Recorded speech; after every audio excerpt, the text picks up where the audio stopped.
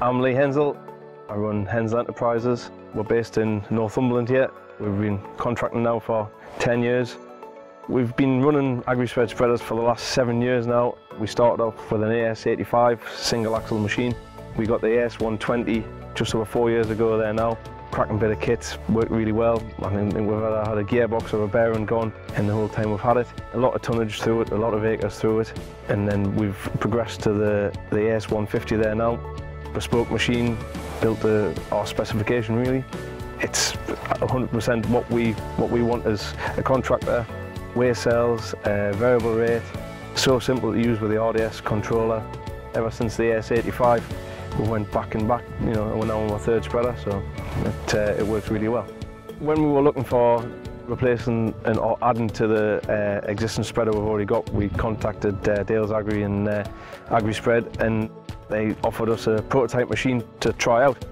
Everything we've got on it is, is basically how we want it. We've had it now since beginning of March and it's never missed a beat. Put nearly 5,000 tonnes through it and I think 4,500 acres. It's worked really well. We spread lime, we spread uh, fertiliser, but we also offer alternative, more cost-effective products uh, for the farmer.